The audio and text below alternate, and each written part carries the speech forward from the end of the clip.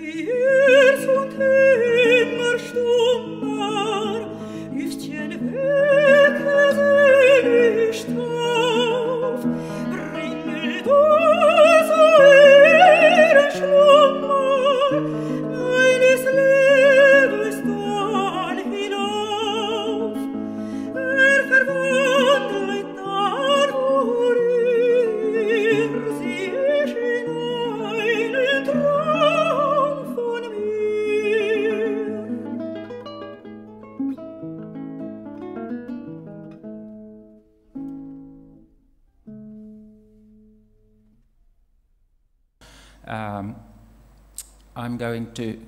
mentioned, to talk about psychopathology of suicidal and aggressive behaviors.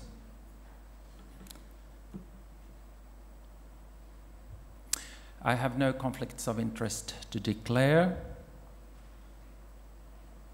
So lecture today uh, will be uh, structured uh, in this way that I will first talk about interrelationship between suicidal and violent behavior, mostly on the basis of epidemiological studies.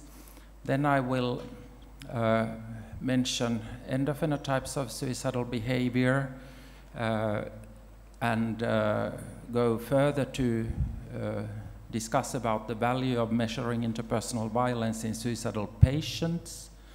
And finally, I will very shortly mention some neurobiological underpinnings uh, of these uh, behaviors. So, suicide as an aggressive act, the idea is not new. Already uh, Sigmund Freud, Freud presented in that way that uh, suicide can be see, seen kind of an aggressive act directed towards the own person. It can be illustrated by this drawing of an Umeå psychiatrist. Uh, I think this picture captures these both behaviors in a, in a quite a clever way that they are indeed, to some extent at least, interconnected. So, both the, uh, these behaviors are very complex and uh, can be classified in several ways. This uh, schema on uh, violence uh, from the Lancet paper shows one way of characterizing violence. And uh, I have first highlighted their violence as an interpersonal violence type, which can be directed to family or partner or uh, to a stranger. And there is also collective violence, which can be uh, subdivided further to social, political, or economic. And on the left hand side, there is a self inflicted violence where suicidal behavior is uh, an important uh, uh, part of this self-inflicted violence. Uh, you can also divide the violence according to the nature of violence, which is shown uh, down with different colors on this uh, picture. You can talk about physical violence, sexual violence, even psychological violence and deprivation. In this talk, I'm going to mainly focus on interpersonal violence and uh, violence as a behavior and uh, suicidal behavior.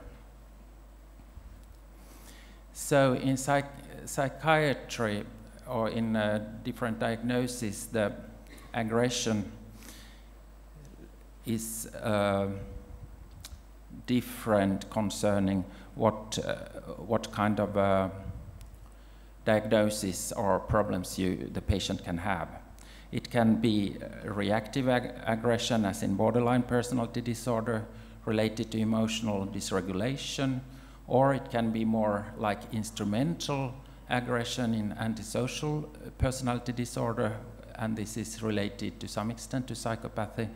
And then if you have cognitive impairments, uh, like um, aggression in psychosis and deviant behaviors, uh, which uh, Sheila, Professor Sheila Hodgins is going to talk about later, and uh, also the trauma history uh, plays a role, uh, especially in aggression triggered by trauma in post-traumatic stress disorder. So, why are these two um, behaviors interconnected? we have made a few years ago a study on suicide risk in individuals who have killed another person. We followed up a cohort of 167 persons who had committed homicide between 1970 till 1980, and they were followed up at least 22 years. This cohort comes from northern Sweden. During the follow-up, 29 uh, uh, persons had committed suicide and their cumulative suicide risk was 18.6 when we did the survival analysis. And as you can see, the suicide risk from this uh, Kaplan-Meier curve was very high during the uh, first year of the follow-up, but the suicides continued to rise during the whole follow-up, even the um, suicide rates were not as uh, remarkably high as in the beginning of the uh, follow-up period. This is another example of a, of a special population um, and suicide risk. This study, um, which we published two years ago, uh, shows suicide risk after release from prison in Sweden. And um, there were 39,000 releases during 2005-2009 and uh, 127 uh, uh, released prisoners committed suicide during the follow-up period. And when we compared the suicide risk with the risk of general population, we found that uh, it was 18.2. And as you can see, the first year here also is a high-risk period. It's the period just after the release from prison. So again, in a very sp special population with, which had been sentenced to prison and committed, uh, part of them at least, uh, violent crimes, uh, the suicide risk is higher, much higher than in the general population. What about in the general population? We have also made a study about uh, uh, Swedish men who conscripted um, 1969, uh, 1970, they were 50,000 about, and they were assessed at the uh, conscription uh, for psychiatric diagnosis. Also, there were measures of social uh, maturity, emotional control.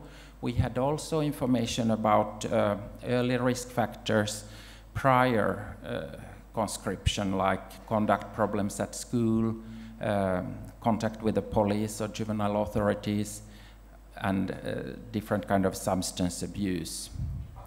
And during the follow-up, we uh, connected all these 50,000 individuals to Swedish national registers and uh, from the crime register we could detect all the men who had uh, committed violent crimes. We had also during that adult period information about their psychiatric diagnosis or substance abuse diagnosis if they had been in inpatient care. And we followed up them uh, till 2004 and until death.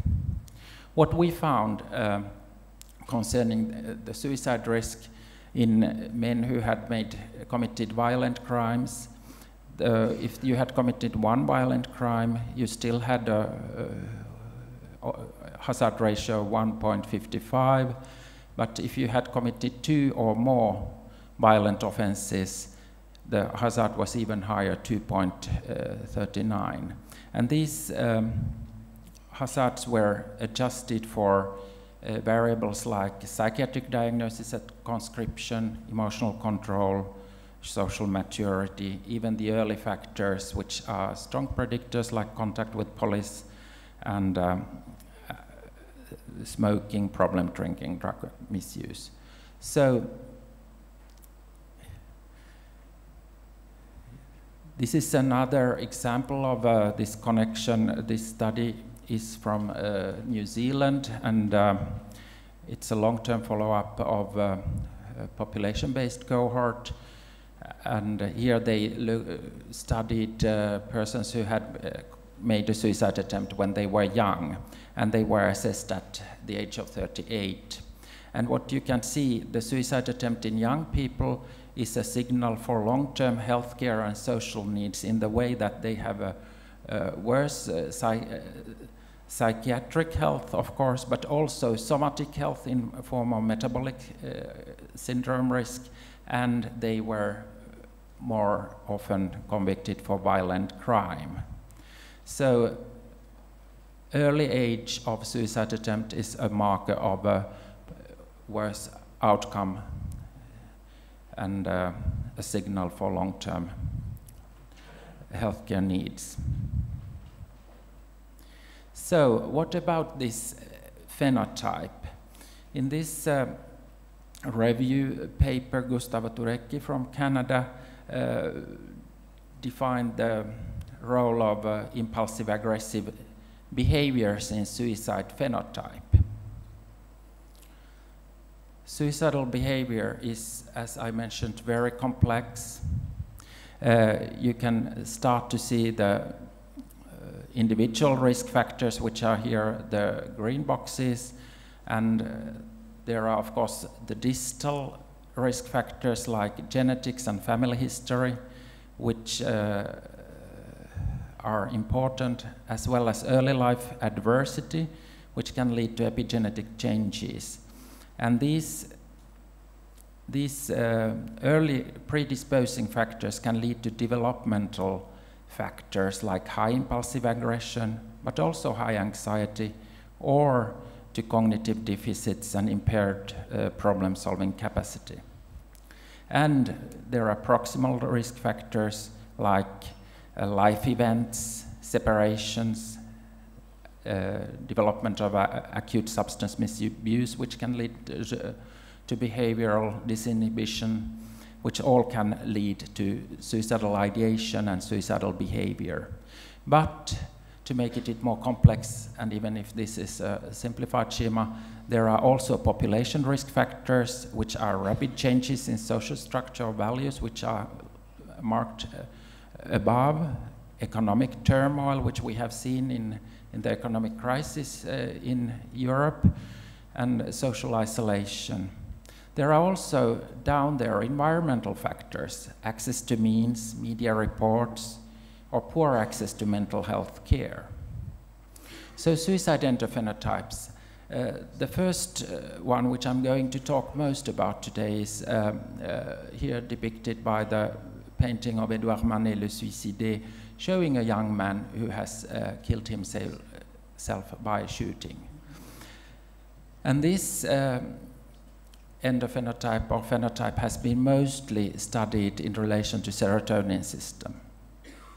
But there are, suicides are very different, and the other phenotype which I uh, have studied quite a lot is um, treatment depress uh, resistant depression and melancholic depression, which is depicted by Van Gogh at Eternity's Gate, showing a melancholically depressed older man. Um, and uh, the stress system dysregulation has been shown in this kind of uh, treatment-resistant depressions to play a, an important role. So, is violent method of suicide a behavioral marker of lifetime aggression? This uh, earlier paper, uh, also from Canada, uh, did a psychological autopsy study investigating 310 individuals who had committed suicide, and they found that if they had used a violent method, it was associated with a higher level of lifetime aggression and higher level of impulsivity. And in addition, it was also associated with lifetime substance abuse. This study comes from uh, Sweden, from uh, Karolinska Institute, And um, it looks at the suicide attempt method uh, as a risk factor for future suicide. And uh, the control group in this study was uh, uh individuals who had made a self-poisoning or uh, yeah, tablet intoxication, and it was the largest group. It was 40,746 individuals, and that was the reference. And then the authors of this study compared if you had made the first suicide attempt by violent means and survived, and then in the follow-up uh, committed suicide.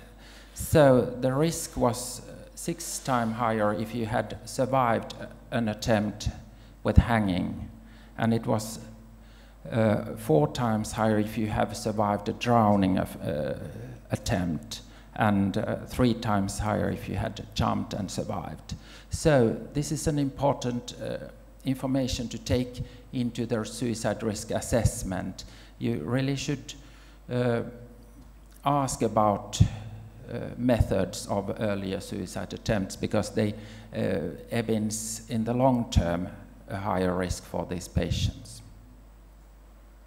We have also quite recently replicated these findings in our population-based uh, cohort where we looked at uh, different methods and uh, risk of future suicide death. And we found that hanging uh, was the method that evinced the highest risk. We tried uh, in this study also to control for early early risk factors. As I mentioned in the first study, we had information about contact problems and uh, substance abuse, and we had also intelligence levels. But still, the hanging was a method that uh, led much more often to suicide death if you had survived the first attempt. So, this is a population-based study from Finland, actually, which has looked at childhood bullying behaviors as a risk for suicide attempts and completed suicides. And um, both the childhood exposure to violence and aggressive behavior are considered important risk factors for suicidal behavior. And in this study, uh, the authors found that uh, being a bully or being a victim was associated with higher risk, even though the risks really didn't remain significantly higher if you uh, adjusted for uh, all the confounding factors in both sexes. So, I move to the part of uh, the value of measuring interpersonal violence in suicidal patients.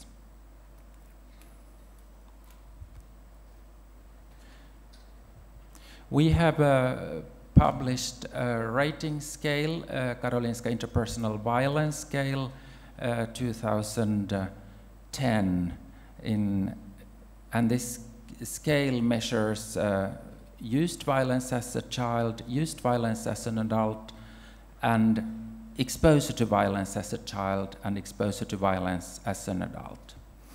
And um, the scale was uh, designed by Professor Marie Åsberg and uh, she has also, as you may know, uh, made earlier the um, Montgomery-Åsberg depression rating scale. So she designed this scale based on her studies on uh, the role of serotonin, and she thought that it might be of importance to, to assess interpersonal violence in suicide attempters.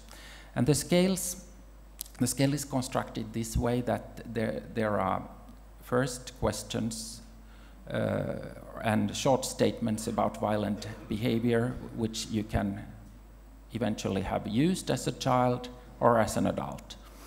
And uh, you should use, on the basis of the interview, the highest score where one or more of the statements apply. Here are the examples of the used violence as a child between 16 to 14 years, and as an adult 15 years or older. And then in the second part, you ask about uh, if you, the patient has been victim of violence in childhood or in adulthood. And uh, there are examples in childhood, if you have been bullied occasionally for a short period, often bullied, or bullied throughout childhood, or if you have been, uh, for example, sexually abused, it gives you a score of four. And um, if you have been battered or raped, you in, as an adult, you get a point four, score four. And what we did, we had uh, done this uh, semi-structured interview with uh, a total of 161 suicide attempters. And uh, we had also 95 healthy volunteers, and they were screened to verify, the absence of current or past mental disorders. And um, the patients were interviewed, and we uh, then followed up them in the Swedish uh, death register to see which patients had committed suicide during the follow-up. The, these patients were actually uh, recruited between 90, 1993 2005, so we had at least uh, four years follow-up for all of them when we did the analysis. And during the follow-up, there were nine suicides, and the mean follow-up was uh, 9.5 years. And as I mentioned, all patients were followed up at least four years, and there were five suicides within four years. And uh, we presented in the paper this uh, analysis concerning the patients who committed suicide within four years from entering to the study. What we found was that the five patients who committed suicide within four years, they had significantly higher scores of exposure to violence as a child, used violence as an adult, and the total score compared to survivors. We also analyzed the nine suicides and the uh, results were similar. This uh, picture shows uh, uh the distribution of the two uh, subscales which were significant uh, and predictive for the future suicide in suicide victims and survivors. We, of course, adjusted these results for comorbidity and uh, for substance abuse and personality disorder diagnosis, and the findings remained uh, significant.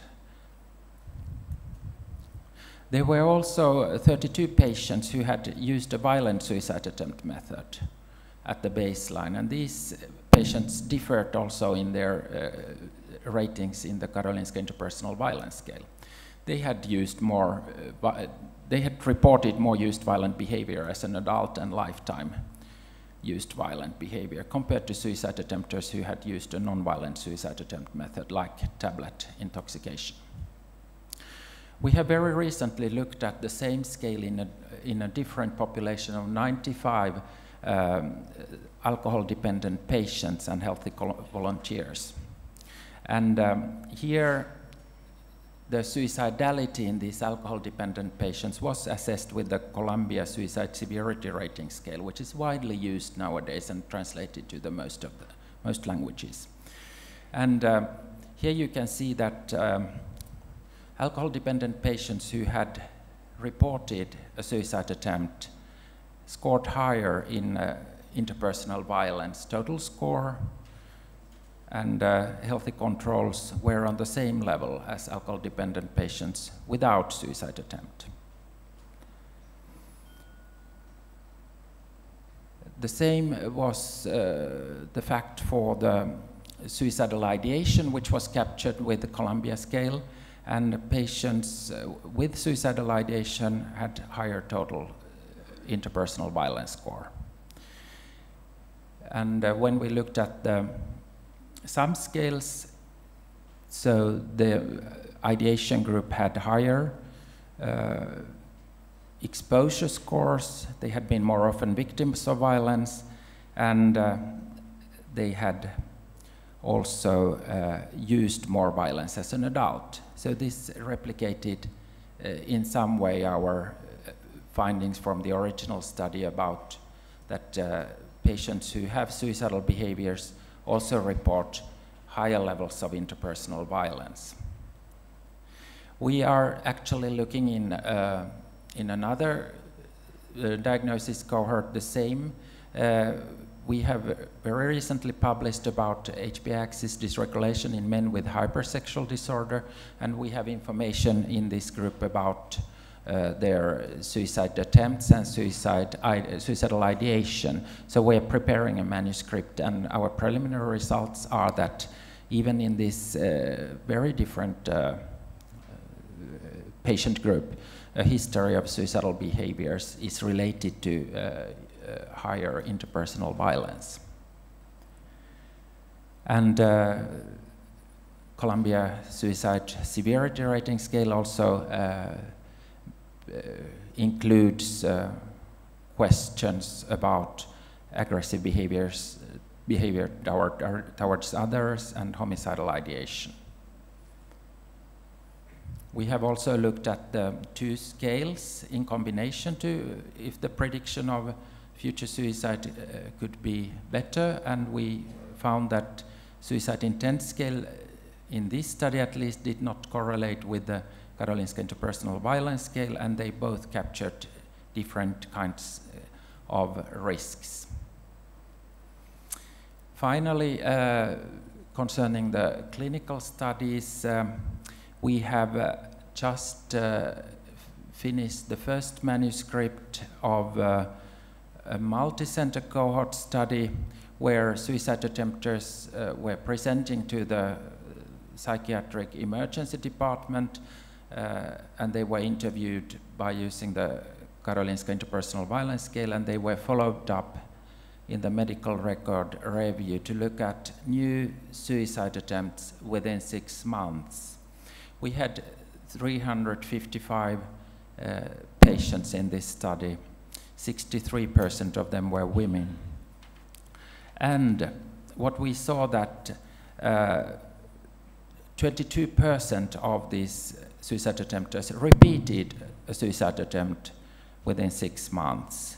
And 6% uh, of them used a violent method in the repeated attempt.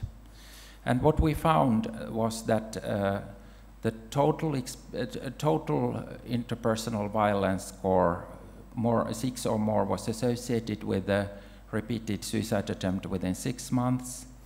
And uh, there was a threefold increase in odds ratio for repeat attempt using a violent method. As you can see, the odds ratio for the repeated uh, attempt was not so high, meaning that uh, you can't only rely on one scale or even two scales in suicide risk assessments. As I mentioned and showed, the complexity of the, of the risks, it, this makes it uh, quite uh, uh demanding and uh, very difficult to use the scales to capture these, uh, these risks, which are also in the timeline different. But um, uh, in summary, these uh, studies uh, show that it might be of value to ask about interpersonal violence in, in patients who come after attempted suicide because it may, may play a role in their future risk.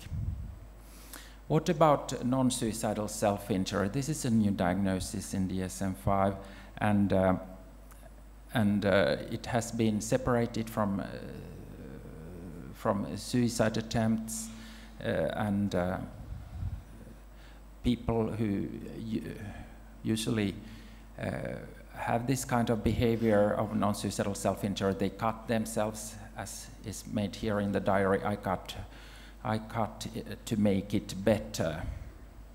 Um, we have studied in a group of suicide attempters uh, this phenomenon of NSSI in relation to interpersonal violence. What we saw that uh, suicide attempters who reported both behaviors, they came with their suicide attempt and then they were interviewed uh, concerning non-suicidal self-injury. Many of them reported that they also uh, have this uh, NSSI behavior. And uh, those who had this um, non-suicidal self-injury behavior reported more uh, expressed interpersonal, used interpersonal violence as an adult. And it was also related to the choice of a violent suicide attempt method in men, which uh, make it uh, maybe a kind of a marker of a more severe psychopathology in this, in this group. Okay, uh, last uh, I'm going to uh, uh, go through a little bit about the neurobiology of these behaviors serotonin uh, has been intensively studied uh, uh, in both in violence and in suicide, and the seminal papers uh, the started from the Karolinska Institute with uh, Professor Mari Åsberg, who reported that uh, low cerebrospinal fluid serotonin metabolite 5-HIAA was found in violent suicide attempters and in suicide victims. And later, it was also reported in violent offenders, especially from the Finnish studies from Matti Virkkunen. And uh, here you can see the serotonin metabolite uh, 5-HIAA. You can measure it in uh, cerebrospinal fluid, and it's uh, thought that it's a kind of a general measure of serotonin activity in the brain. Here are the, the pioneers, um, Mari Åsberg, her first paper in Archives of General Psychiatry, then uh, Lil Träskman-Bendz, who reported uh, especially the violent attempters having lower levels compared to non-violent attempters and depressed patients without suicide attempt and healthy controls. And uh, Peter Nordström also uh, showed that uh, uh, it predicted suicide risk after attempted suicide during the first, first year. So uh, there is quite a lot of evidence that uh, low levels of CSF5-HIAA are related to heightened suicide risk. and it was also the case in the recent meta-analysis by John Mann, who reported uh, an odds ratio of 4.5 for low 5-HIAA and future suicide. Um, what about um, the connection between violent behavior? This is the first uh, and very well cited paper from USA from Brown,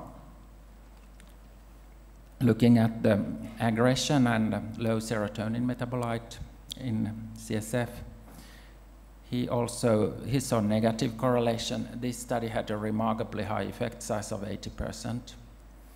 And um, there are also patients without suicidal behavior and uh, with suicidal behavior. Uh, in a recent meta-analysis by Duke in 2013, uh, reviewing all serotonin studies in violence, the effect sizes for uh, later CSF 5HA IAA studies and uh, violence risk was much lower than in these uh, earlier studies. And uh, not all studies have replicated these findings. But in summary, uh, if you look at um, different kind of studies concerning serotonin system, there seems to be a connection as we can see here in this uh, uh, imaging study from John Mann's group with Maria Oquendo uh, as the first author, where they saw prefrontally localized hyperfunction and impaired serotonergic responsivity, which was proportional to the lethality of the suicide attempt. What about the environment and serotonin system? Uh, there are very nice uh, early studies in rhesus macaque monkeys with the maternal separation paradigm, which showed that the infants which were permanently separated from their mothers had persistently lower uh, CSF5-HIAA levels uh, compared to mother-reared peers, and they showed more impulsive aggressive behavior. We looked at this in the subsample of our suicide attempter cohort, where we had also um, LIC for uh, uh, cerebrospinal fluid uh, CSF5-HIAA measured. And we looked at uh, correlation between uh, interpersonal violence and serotonin metabolite. And what we saw that in women there was a significant negative correlation uh, and um, uh, the lower the lower the CSF5-HIAA, uh, the higher the exposure, self-reported exposure to interpersonal violence as a child was.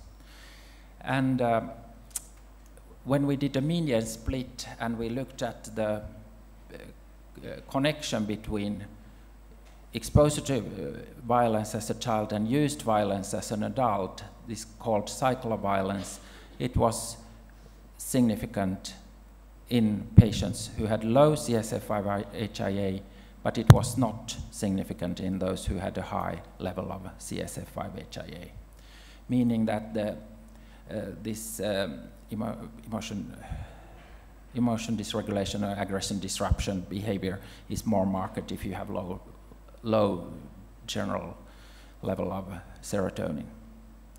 There are also uh, genetic studies of in extreme uh, violent behavior showing MAOA genotype in Finnish uh, prisoners wh which were connected to number of violent crimes,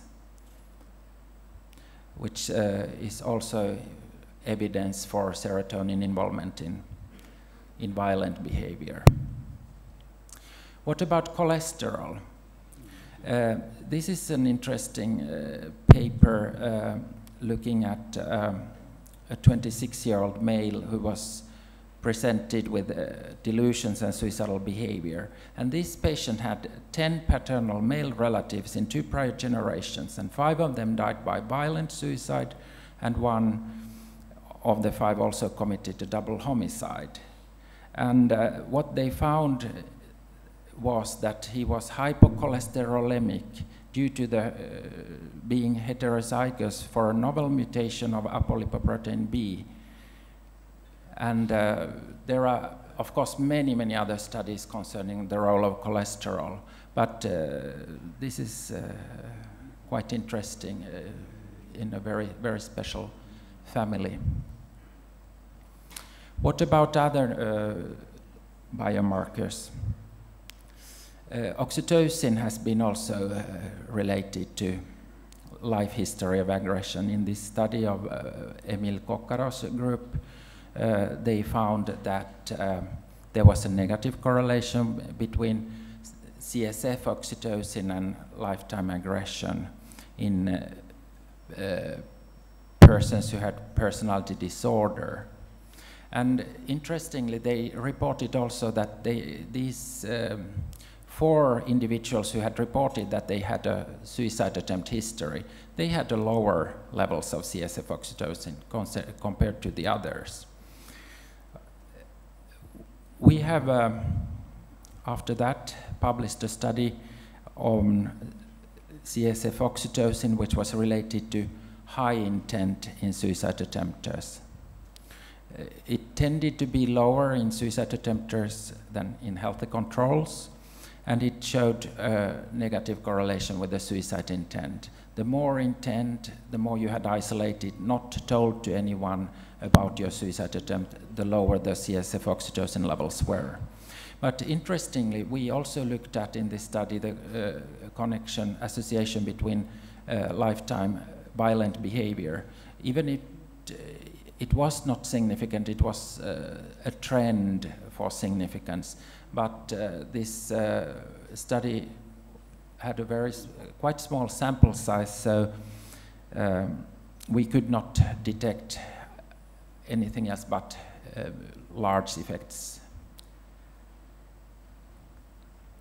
Uh, there are many studies uh, on neuroinflammatory markers, and um, they have been uh, studied in suicidal behavior and for example, interleukin 6 has been reported to be higher in uh, CSF compared to uh, compared to healthy volunteers or uh, and um, in this study the authors uh, from the same group uh, Emil Coccaro's group uh, showed a positive correlation between uh, plasma CRP and IL-6 and again lifetime history of aggression.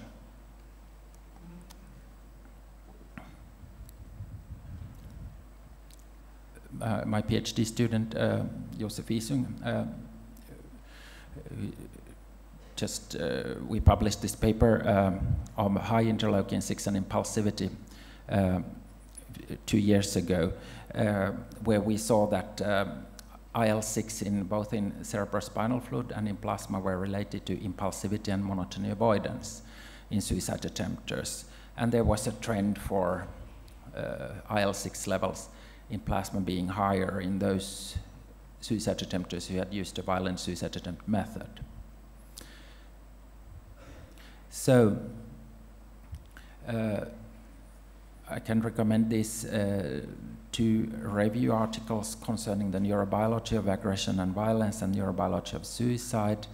Uh, if you are more interested in looking at uh, in detail what is the latest uh, research on this. They are quite, quite recent reviews. Uh, I just skip this slide. Uh, lastly, I would like to mention something about um, uh, early life adversity because it's a very important factor in these studies, as you saw in the risk factors of suicidal behavior. Early life adversity is very important to assess. And it leads to epigenetic regulation and through dysregulated stress response may be related to different kind of development of psychopathology and suicidal behavior. So, in summary, uh, there is a link between suicidal and violent behaviors, and uh, based on our research, I would uh, say that it is of value to ask about violent behaviors in suicide risk assessments. And there are some degree overlapping neurobiological systems involved in both behaviors.